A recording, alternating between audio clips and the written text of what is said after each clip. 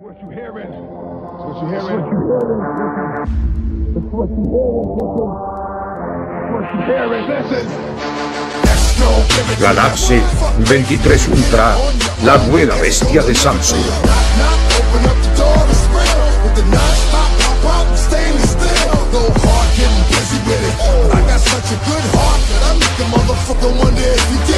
Samsung Galaxy S23 Ultra, el gama alta premium de Samsung para este 2023. Como vieron en el título y también en la miniatura, en esta ocasión les traigo el unboxing y también una pequeña review de este teléfono. Así que pasemos de una vez a la mesa para destaparlo. Bueno familia, como ven la caja de este nuevo Samsung Galaxy S23 sí que cambia bastante su diseño en comparación con la versión anterior, ya que en este caso en vez de tener una S en el medio, tenemos una silueta con el diseño del dispositivo y también dependiendo del color que elijas, así será la tonalidad de la silueta. Ahora bien, una vez le quitamos los sellos a esta caja y la abrimos, con lo primero que nos topamos es con el teléfono. Y ahí ya pueden ir viendo lo precioso que es este dispositivo. Luego, en la parte superior de esta caja tenemos una pequeña cajita con el manual de uso, la pequeña llavecita para poder colocar la tarjeta SIM y por último tenemos un cable negro USB tipo C a tipo C. Estoy llorando. Como ven en esta caja no tenemos muchas cosas que digamos y yo personalmente sí que extraño bastante esas enormes cajas de Samsung en donde venía incluido un cover transparente para proteger de una vez a nuestro teléfono, también venía el cargador completo con el cable y también la cabecilla para conectar a la corriente y bueno, esperemos que pronto Samsung recapacite y vuelva a incluir todo eso. Pero como ven la cereza del pastel de esta caja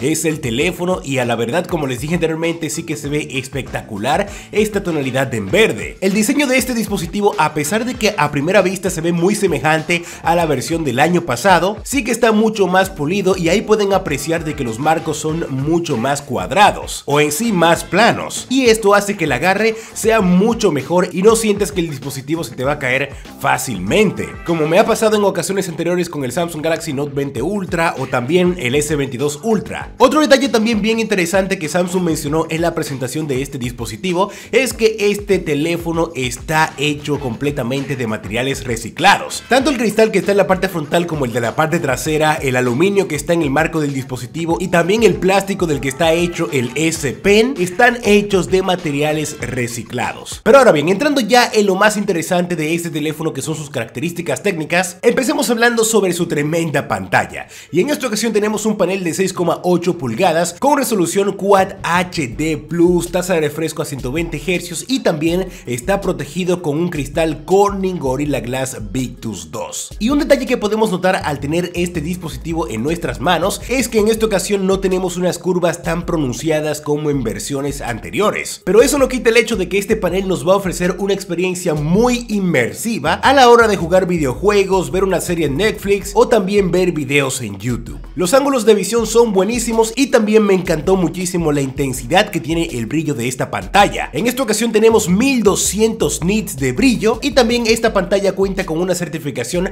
HDR10 Ya en el apartado de los internos, en esta ocasión Samsung ha colocado al chip más potente que tenemos en el mercado Android. Estamos hablando del Snapdragon 8 generación 2 que está optimizado para los teléfonos Galaxy. Y sí, Samsung para este tremendo teléfono ha hecho una colaboración con Qualcomm y esta versión del Snapdragon 8 Gen 2 nos va a ofrecer un rendimiento increíble. Y eso lo puse a prueba en esta ocasión y a la verdad la potencia de este Galaxy te va a permitir poder correr cualquier tipo de aplicación o juego pesado. Pero obviamente debo de continuar probando este teléfono para traerles una review completa y decirles qué tal me fue. Pero hasta ahora no se me ha calentado para nada el teléfono y la batería no se ha visto tan afectada que digamos sacándole el jugo a este teléfono. Ya en cuanto a la memoria, la versión que tengo en esta ocasión es la de 256 GB acompañada de 8 de RAM y pasando a un punto bien importante que es el sistema operativo que corre este Galaxy S23 Ultra, este viene de fábrica con Android 13 bajo One UI 5.1. Ya si nos dirigimos al departamento de la batería, en esta ocasión tenemos una de 5000 mAh con una carga rápida de 45 watts,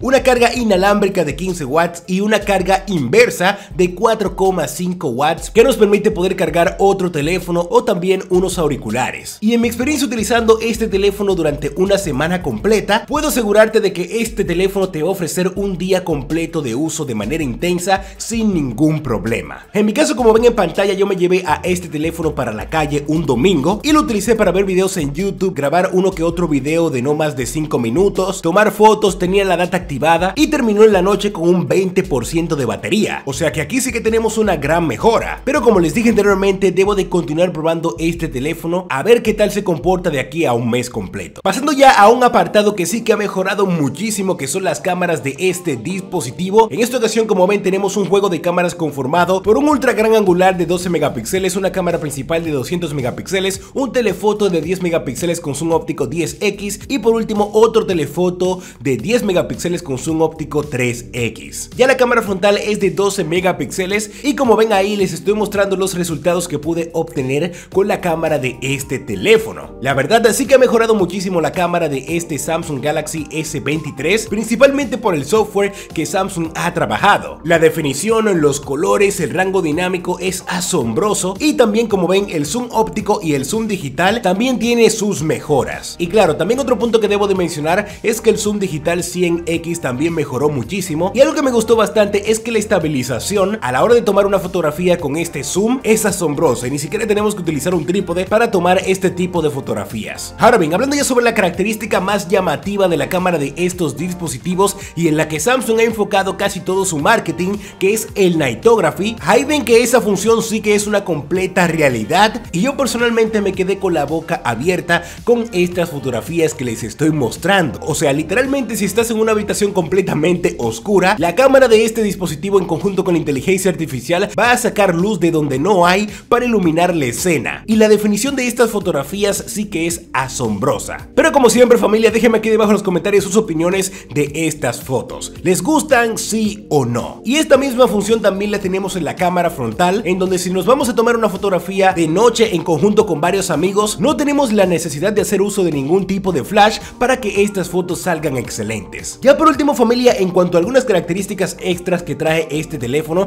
en primer lugar tenemos al S Pen, el cual tiene una latencia de 2,8 milisegundos y como saben va a ser súper útil a la hora de realizar una anotación, manipular documentos en Word, Excel o también dibujar y colorear y hasta también es súper útil jugando juegos como Clash Royale. También este teléfono cuenta con certificación IP68 contra agua y polvo, cuenta con NFC, continúa trayendo lector de huellas dactilares debajo de la pantalla y también es compatible con Samsung DeX. Y bueno familia, ya para ir concluyendo con este video, la verdad, yo personalmente sí que siento que vale muchísimo la pena comprar al Samsung Galaxy S23 Ultra. Pero si actualmente tienes un Samsung Galaxy S22 Ultra, te recomiendo mucho más esperar al S24 Ultra, ya que como han visto los cambios principales están en el apartado de las cámaras, batería y también la potencia.